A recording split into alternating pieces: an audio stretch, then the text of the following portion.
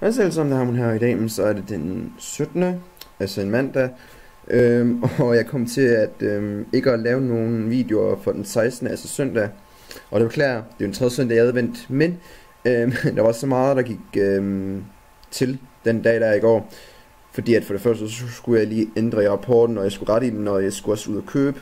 Og øhm, så var det også, at jeg, vil gerne, jeg skulle også lave nogle videoer øh, på min anden kanal. Og jeg vil også gerne tjekke programmet igennem og sådan noget der, så det nåede jeg ikke, det nåede jeg ikke lige at lave nogle videoer der. Men jeg fik lavet nogle forskellige beatbox øh, trænings ting, som jeg optog bare for sjov. Øh, hvis I kan se dem, så er det på den, så er det netop i den video, der som bliver kaldt for den 16. december. Øh, fordi det lavede jeg den dag der.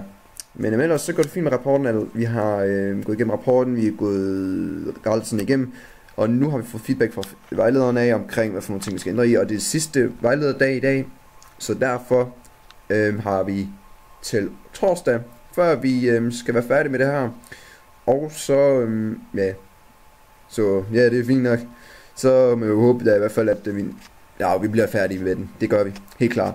Vi skal lige rette ind i morgen. Vi bruger en hel dag på at rette den igennem, og så øhm, er vi færdige. Så kan vi aflevere den på onsdag.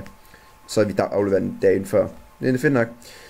Så ja, der kommer en video, øh, hvis den ikke er kommet allerede, så kommer der en video øh, man hedder, på den 16. december, hvor jeg beatboxer lidt og sådan noget der. Og så hvis jeg har lyst til at tage den, så tak fordi I ser den. Ellers så, øhm, tak fordi I så med på den her video, og vi ses til næste gang. Peace!